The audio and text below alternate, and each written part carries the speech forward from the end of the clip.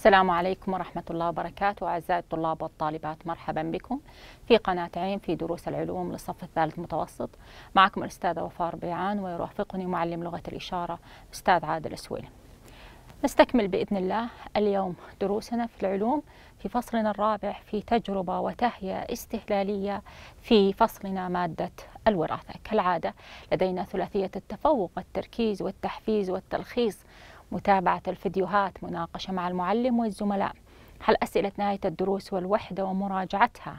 متابعة يوميا للدروس عن بعد وحل الواجبات. وكالعادة لدينا ورقة لتدوين الملاحظات. نكتب فيها اسم الموضوع التاريخ أبرز الأفكار الواردة في الفيديو وتلخيص أبرز المفاهيم الواردة بكلماتك أو كلماتك الخاصة. نراجع سابقا ما لدينا دورة الخلية ما الذي يحدث؟ يحدث نمو الخلية تنمو الخلية تتضاعف ماذا العضيات؟ ينسخ ال DNA وذكرنا ال DNA وتتضاعف ماذا؟ الكروموسومات.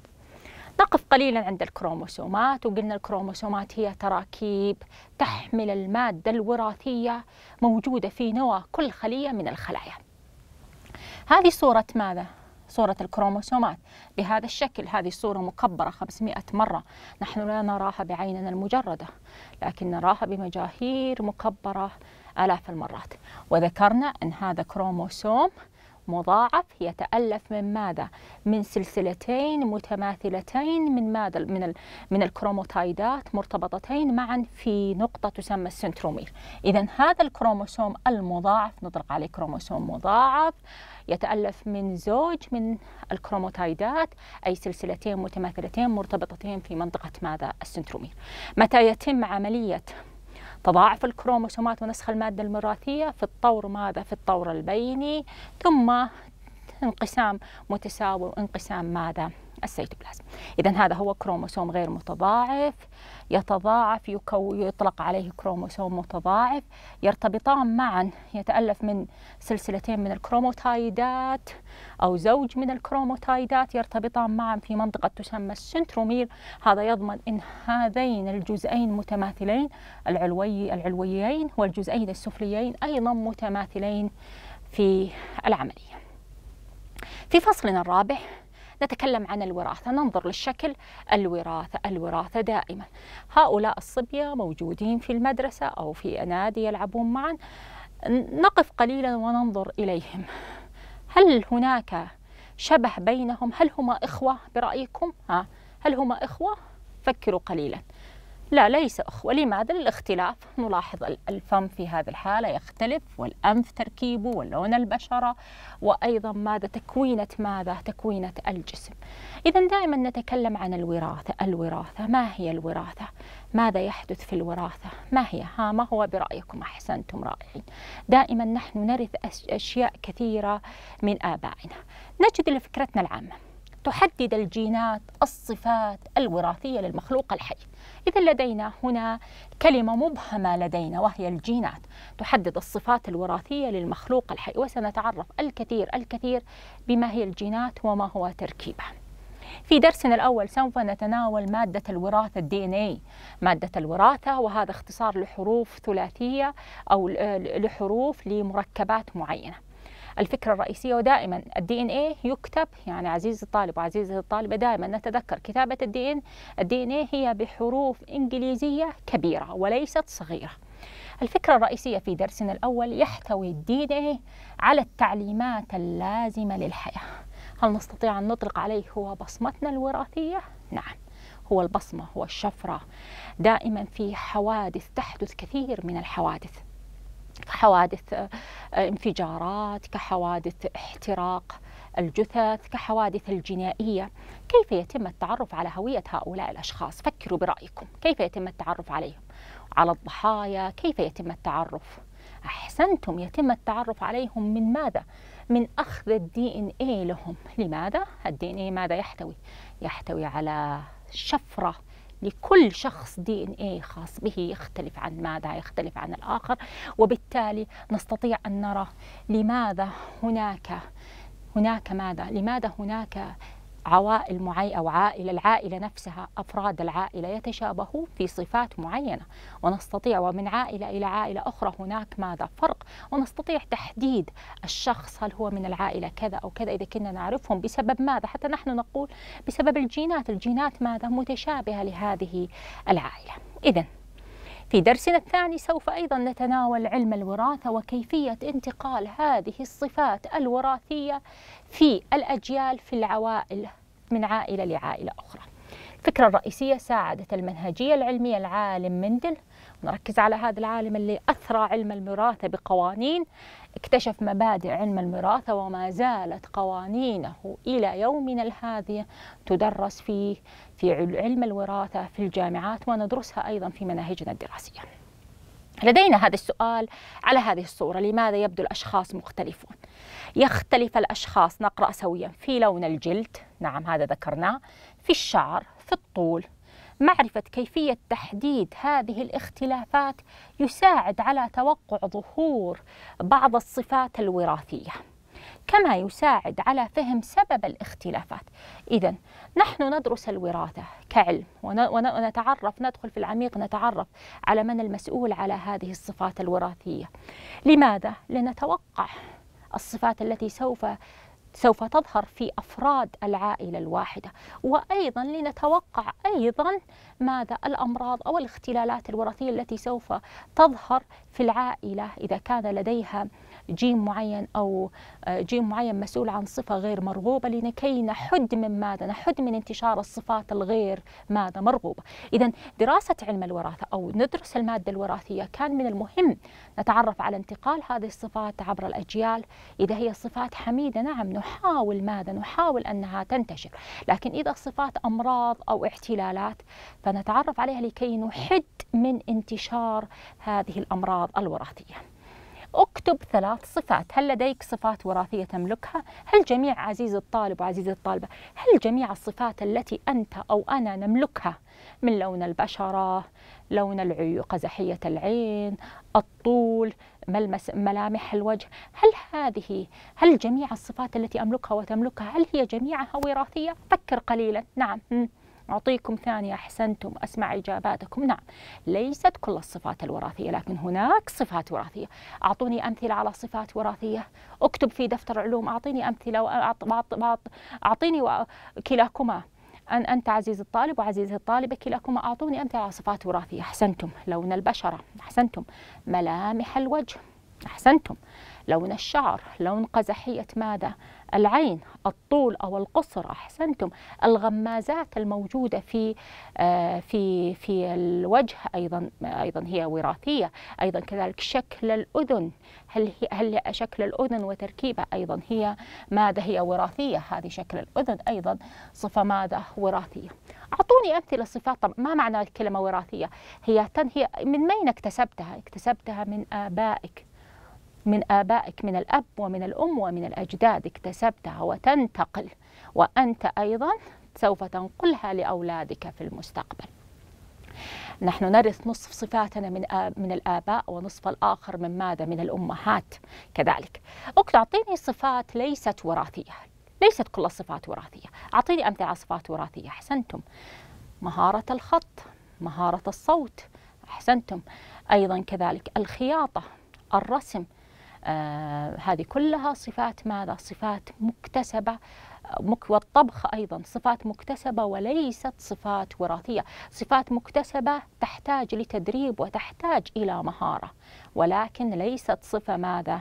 تتوارثها من ماذا؟ من الأجيال. لدينا هذه التجربة استهلالية من له صفة وجود الغمازات. طبعا صفة وجود الغمازات الغمازات هي صفة وراثية. قد تشترك أنت وزميلك في أشياء كثيرة كنوع الطعام الذي تحبه. أيضا هذه صفة مكتسبة. أو قصة الشعر أو قصة الشعر قد تكون لك أنت وزميلك نفس قصة الشعر. خلاص ولكن ليست هي وراثية هذه الصفة. أو قصة الشعر لكن هناك اختلافات واضحة تظهر بينكما. تتحكم الجينات. نقف, نقف قليلا. الجينات. إذا هل الجينات هي المسؤولة عن انتقال الصفات الوراثية؟ نعم تتحكم الجينات. حتى نحن نحن في في الكلام العام أحيانا نرى مثلا أفراد من عائلة معينة فنقول هم هم جيناتهم لهم جينات لهم صفات معينة نستطيع تحديدها. وصحيح هذا الكلام قد نقولها بالكلام الكلام بالكلام العام لكن هي في حقيقة علمية نستخدم هذه الكلمة وهذه حقيقة. تتحكم الجينات في معظم هذه الاختلافات التي ورثتها من والديك. سوف تدرس خلال هذه التجربة أحد هذه الاختلافات. لاحظ صورتي الطالبين. هذا الطالب له غمازات صحيح؟ لكن هذا الطالب ليس لديه ماذا؟ غمازات. طبعا هذه ممكن تجريها ماذا؟ بالفصل مع زملائك. ليست فقط صفة الغمازات صفة وراثية. ممكن لون البشرة ممكن لون قزحية العين فاتحة أو اللون الغامق ممكن ملمس الشعر. أيضا كذلك من الصفات ماذا؟ آه، من الصفات أيضا ماذا؟ الوراثية. طبعا اطلب من أصدقائك الابتسام وسجلها واحسب النسبة. هنجد نسبة. عادة عادة من عشرة إلى 30% من الأشخاص الموجودين في الفصل قد تكون لديهم هذه الصفة صفة الغمازات وقد تتفاوت. طبعا ليس بالضرورة صفة الغمازات أي صفة من الصفات الوراثية قارن بها فصلك وحسب النسب كم عدد الذين لديهم وكم عدد الأشخاص الذين ليست لديهم. أيضا لدينا تهيأ للقراءة لدينا تصور ذهني. ما معنى تصور ذهني؟ عندما تقرأ كل جزء من الأجزاء حاول أن تتخيل حاول أن ترسم له صورة في ذهنك. الطعام الصوت الشعور الطعم حاول أن, أن, أن ترسم له صورة. مثلا عندنا هنا مربع بنت. أحيانا تقرأ مربع بنت سوف نتناول مربع بنت قبل أن ندرس مربع بنت. تخيل مربع ما هو المربع؟ مربع بهذا الشكل. أيضا هذا المربع له ماذا؟ له أعمدة له أعمدة وله ماذا؟ صفوف. هذه الصفوف وهذه الأعمدة. إذا حاول في هذا الفصل كأحد مهارة من المهارات لدينا هي عندما تقرأ بعض الأجزاء التي قد تكون من الصعوبة أننا أننا أننا نجري تجارب عليها حقيقة. حاول ماذا؟ تخيلها ووضع ماذا؟ تصور ذهني. لدينا أيضا هذا المربع لدينا اللي هو تقويم قبلي. اقرأ هذه العبارات. وضع ميم موافق وغير موافق قبل أن تدرس هذا الفصل. أعطيكم دقيقة أو ثواني معددة لكي تقرؤون ثم تضعون. نعم. أحسنتم رائعين. انتهيتم منه؟ نعم رائعين نبدأ الآن في درسنا الأول مادة الوراثة. نتعرف على أهدافنا. نتعرف أجزاء جزيء DNA وتركيبه. نوضح كيف يتضاعف DNA وتركيب RNA طبعا هذه الأهداف سوف نتعرف عليها في الفيديوهات القادمة بإذن الله. أول هدف هو سوف نتعرف عليه أجزاء ال DNA آه عملية فصل ال DNA لماذا؟ لماذا ندرس ال DNA ما هو ال DN يساعد ال DN على تحديد معظم خصائص ماذا؟ الجسم. لدينا مراجعة مفردات جدا الكلمات هذه مهمة. البروتينات أو البروتين. ما هو البروتين؟ هو مركب عضوي ضخم الحجم يتكون من الأحماض الأمينية. إذا البروتينات أو البروتين هو مركب عضوي يتألف من أحماض أمينية. أحماض أمينية عديدة كبيرة جدا مترابطة معا تكون لي ماذا؟ تكون لي ماذا؟ تكون لي الجينات الموجودة في ماذا؟ الموجودة في الخلايا تكون لي خلايا، الخلايا تجمعها يكون لي أنسجة، الأنسجة تكون لي ماذا أيضا؟ تكون لي أعضاء، الأعضاء تكون لي ماذا؟ أجهزة، إذا عملية تصنيع البروتين هذا مهم جدا لأنه يتألف من أحماض، هذه الأحماض تكون لي ماذا؟ الخلايا ومنها أنسجة أعضاء أجهزة. طبعا لدينا البروتين كما ذكرنا مفرداتنا الجديدة هي الدي ان اي أحد هذه المفردات التي سوف نتعرف عليها. لدينا شريحة التركيز لدينا هذه الصورة لقطة غريبة نوعا ما. شاهدوا معي ما هو الغريب فيها؟ هذه القطة غير الطبيعية القطة ذات الشعر المجعد. هي قطة غير طبيعية. شعرها مجعد في العادة القطط.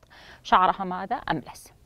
هذه القطة غير الطبيعية هي ديفون ريكسي ظهرت في بريطانيا عام 1960 نتيجة التعديل الوراثي الذي حدث في حظيرة القطط البريطانية تمتاز قطة ديفون ريكسي بالرأس الصغير بالرأس الصغير والشعر المجعد هذه صفة غير طبيعية بسبب ماذا؟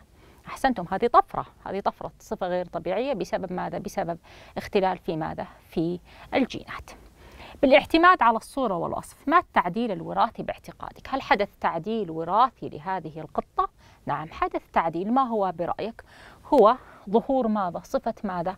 الشعر المجعد وأيضا الرأس ماذا؟ الصغيرة هذه الصفة ظهرت عدلت الجينات اللي تعطينا هذه الصفة ب بطريقة معينة اللي أعطتنا هذه الصفة وحدث ماذا؟ وحدث هذا هذا هذا التكوين لديها. كيف يستطيعون مربي القطط بالاستمرار في سعيهم للمحافظة على وصف وعلى على خصائص وصفات هذه القطة؟ إذا أرادوا مربي القطط أنه هذه الصفة الشعر المجعد والرأس الصغير في القطط أرادوا أنها تستمر ويحافظون على هذه الصفة ما الذي سوف يقومون به؟ أحسنتم بعملية ماذا؟ التزاوج للمحافظة لنقل هذه الصفات إلى ماذا؟ إلى الأجيال المختلفة عن طريق ماذا؟ التزاوج للمحافظة عليها إذا نصل إلى ماذا؟ نريد أن نعرف ما هو ال DNA برأيكم ما هو ال DNA؟ نعم أحسنتم نصل قليلا إلى ما هو ال DNA ال DNA هو عبارة لاحظوا معي عبارة عن ماذا؟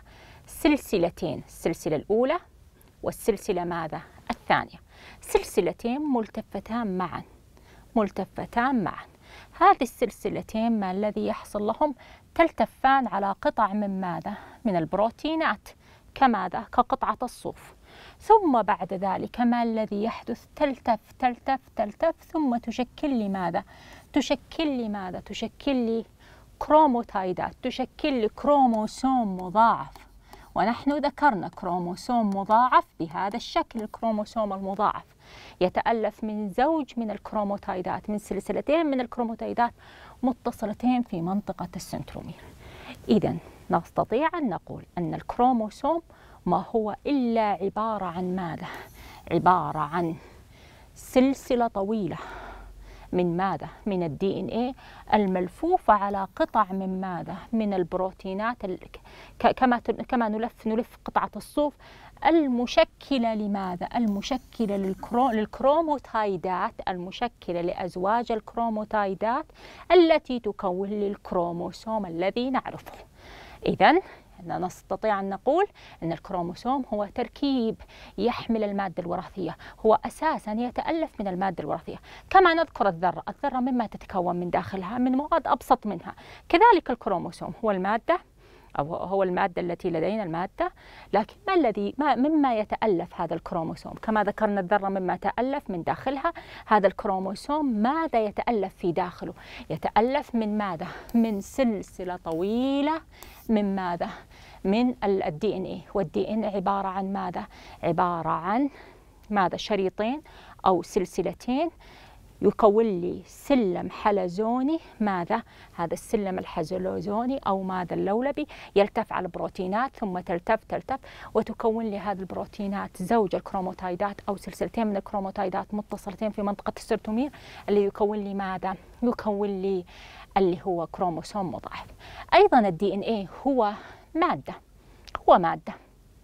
عن مادة إما تكون عنصر أو مركب أو خليط فهو عبارة عن مركب كيميائي. مركب كيميائي حمض نووي. إذا ال DNA هو مركب كيميائي هو حمض نووي منقوص الأكسجين. لماذا منقوص الأكسجين؟ لأنه عنده O4 في تركيبه. لذلك نقص لديه ماذا؟ الأكسجين. يحتوي على ماذا؟ معلومات عن نمو ونشاط المخلوقات ماذا؟ الحية ال DNA طبعا هذا الاسم باللغة الإنجليزية. deoxyribose D N nucleic نووي A acid اللي هو حمض. اذا أطلق عليه DNA أو حمض نووي منقوص الأكسجين. كلاهما نفس المعنى. اذا نجد الآن. اذا هذا هو ال DNA هو مركب كيميائي أو حمض نووي منقوص ماذا الأكسجين يحتوي عن معلومات عن نمو ونشاط ماذا المخلوقات الحية. أيضا يتألف من ماذا؟ لو لاحظنا يتألف من ماذا؟ من سلسلتين طويلتين أه ملفوفتين حول بعضهما البعض. يتواجد في ماذا؟ يتواجد في النواة. يعني مل مل هذه السلسلة كبيرة جدا مهولة لكن هي تلتف وتشكل لي بالأخير الكروموسوم المضاعف. أيضا كذلك ما الذي يحدث له لهذا الكروموسوم لهذا ال DNA قبل عملية الانقسام؟ طبعا في الطور ماذا ذكرناه في الطور البيني. ما الذي يحدث؟ يتضاعف الكروموسوم. نحن نعرف الكروموسوم يتضاعف هذا اللي ذكرناه في الطور البيني. وبالتالي ما الذي يحدث لل DNA بما أن الكروموسوم يتضاعف فال DNA أيضا يتضاعف. لماذا يتضاعف؟ لأنه يحتوي على ماذا؟ هو أساسا يعتبر ال DNA هو شفرة وراثية. ماذا يعني لي شفره وراثية؟ فكروا قليلا. نحن معا نتكلم بلغتنا لغتنا العربية ونكتب باللغة العربية. لدينا حروفنا اللغة العربية. هذه الحروف نجمعها إما تكون لي كلمات والكلمات تكون لي ماذا؟ جمل. نتفاهم. عندما أقول كلمة أب فأنا وأنت والجميع يعرف ماذا يعني لنا هذه الكلمة. لما نقرأها لما نقرأها بلغتنا أو لما نتحدث فيها. إذا هي تعتبر شفرة لغوية. الحروف لدينا والجمل والكلمات هي شفرة لغوية. نتمكن من ماذا؟ من التعامل والتواصل معا. كذلك الخلية. تخيل الخلية عزيزي وعزيز الطالب كالإنسان. نحن ملايين الناس لدينا لغة ولكل دولة من الدول لغة معينة أو لهجة معينة يتم التواصل من خلال هذه الشفرة اللغوية. كذلك الخلايا. عندنا جسمنا يتألف من بلايين الخلايا. تشكل لماذا؟ أنسجة وأعضاء وأجهزة. وفي كل خلية من خلاياك يتواجد ال DNA في الكروموسوم. فالكروموسوم يحمل ال DNA أساسا. إذا أنا وأنت فجميع الكائنات الحية اللي هو الإنسان نفسه نحتوي على 46 كروموسوم في خلايانا الجسدية وعلى كل كروموسوم يتواجد ال DNA هذه ال DNA من الخلية الأولى للثانية للقيام بالعمليات والقيام بالأنشطة والنقل. وإنتاج الطاقة وتحريرها لابد من ماذا؟ لابد من ماذا؟ من من في شفرة نتواصل تتواصل هذه الخلايا معا هذه الشفرة ما هي؟ هي الشفرة الوراثية هي ال DNA بتركيب معين لها. إذا قبل عملية الانقسام تضاعف الكروموسومات يتضاعف ال DNA يتم نقلها لماذا؟ للخلية الجديدة لكي تقوم بوظائفها. بعد الانقسام كل خلية تحصل على المعلومات الجديدة. لدينا تجربة سوف نقوم بإذن الله بفصل الدي ان اي التجربة طبعا نختار محلول محلل الخلايا. محلول محلل الخلايا اللي ما هو إلا عبارة عن سائل آه، غسيل الصحون بأي ماركة من الماركات. هو يحلل الخلايا محلول مرسب كحول أنابيب قطارة ماء ثلج قمع. آه، لدينا عينة من الفواكه. أنا اخترت طبعا كيوي وفراولة. قمنا بعملية طحنهم. أيضا ما الذي سوف نقوم به؟ نطحن هذه الفواكه أو نحرسها. ثم نصب فيها ثم بعد ذلك نضيف عليها المحلول المحلل الخلايا اللي هو عبارة عن سائل غسيل ماذا؟ الصحون. سوف نجري هذه التجربة لفصل ماذا؟ لفصل الدي ان اي ركزوا معي أعزائي الطلاب والطالبات. طبعا إحنا نعرف إن ال DNA يتواجد في جميع ماذا؟ يتواجد في جميع الخلايا. في كل خلية من الخلايا يتواجد ماذا؟ على الكروموسومات ال DNA إذا ملايين من ماذا؟ من ال DNA آه الآن سوف نقوم بعملية فصل أي الحصول على ماذا؟ الحصول على ال DNA طبعا في الخلايا أي خلية من الخلايا ما الذي يتواجد؟ طبعا هذا هو عندنا نموذج لماذا؟ نموذج للدي إن اي نراه عبارة عن السلسلة الأولى والسلسلة الثانية سلسلتين ملتفتان حول بعضهما تعطينا سلم ماذا؟ حلزوني هذه لدي ماذا؟ لدي هذه الفواكه التي قمت بعملية ماذا؟ طحنها وترشيحها هذا لدي محلول محلل لماذا؟ محلول محلل للخلايا بهذا الشكل وهذا لدي كحول بارد جدا سوف أقوم بعملية ماذا؟ بعملية سكب المحلول محلل الخلايا على ماذا؟ على آه، على الفواكه التي قمت بعملية ماذا؟ بعملية هرسها طبعا إحنا نعرف كل خلية يتواجد غشاء بلازمي هذا الغشاء البلازمي يتألف من طبقتين من الدهون. أنا أحتاج أشيل هذا الغشاء أو أزيل هذا الغشاء البلازمي لكي أدخل إلى قلب النواة. والنواة تحتوي على غلاف أيضا ماذا؟ غلاف نووي. يتألف أيضا من طبقتين من الدهون. فأنا أحتاج إلى محلل الخلايا. نحن نستخدم آه، سائل غسيل الصحون لنتخلص من ماذا؟ من الدهون في صحوننا. فأنا الآن في هذه العملية قمت بالتخلص من ماذا؟ من الدهون لكي أستخرج ماذا؟ أستخرج ال DNA من ماذا؟ ال DNA من النواه، اذا الآن عمليه الآن بهذه العملية قمت بعملية ماذا؟ الاختراق ماذا؟ أول عملية اختراق ماذا؟ اختراق النواه. أضيف قليلا منها لكي أتأكد من عملية ماذا الحصول عليها عملية التقريب طبعا لاحظنا ما, ما زال اللون ثم بعد ذلك أقوم بإضافة ماذا؟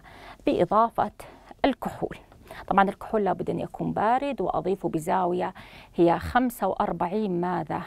درجة. سوف أقوم بإضافة كمية من ماذا؟ كمية من الكحول ثم أقوم. لاحظوا معايا لاحظتوا الشكل. سوف أقوم بعملية التحريك. لاحظوا معايا انعزال. لاحظتوا هذا الانعزال؟ نعم يتواجد لدينا انعزال. لاحظنا الانعزال ما الذي الكحول ما الذي قام به هذا الكحول؟ قام الكحول بترسيب ال DNA، أي نحن الآن نحصل هذا ال DNA هو من ملايين ملايين الخلايا للفواكه. لاحظوا معايا القطع سوف أقوم لاحظوا معايا كأنه صورة هلامية. أنا لم أضع موز، أنا وضعت ماذا؟ أنا وضعت كيوي وفراولة. لو أجي ألاحظ شوفوا معايا هذا التركيب أنا الآن أحصل على كمية لاحظتوا معي كأنها مادة هلامية. هذا هو ال DNA إذا فصلناه واستخرجناه من ماذا؟ من ملايين بلايين الخلايا للفواكه المهروسة. السائل المحلل هو الذي وضع لنا. آه لاحظنا بهذا الشكل. نرجع إلى تجربتنا. نرجع إلى إلى ماذا تعلمنا؟ ال DNA مركب كيميائي يحتوي معلومات يتم تضاعفه تضاعف الكروموسومات وكذلك تضاعف ال DNA ثم نقله إلى الخلية بعد عملية الانقسام. بذلك كل خلية تحصل على ماذا؟ تحصل على DNA الأساسي لكي تقوم بوظائفها من الذي يحتوي على معلومات يحتاج إليها؟ من هو؟ أحسنتم هو ال DNA يحتوي على معلومات بال capital. يشبه تركيب ال DNA سلم ماذا؟ أحسنتم. السلم الحلزوني. تحمل المادة الوراثية داخلها. من الذي تحمل؟ هي الكروموسومات.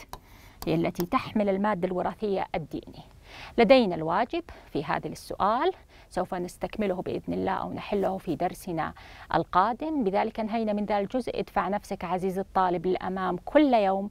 ليس المهم أن تتقدم بسرعة لكن المهم أن تتقدم في الاتجاه السليم. أشكر لكم أعزائي الطلاب والطالبات حسن متابعتكم. ابقوا معي في الفيديوهات القادمة. شاكرة لكم.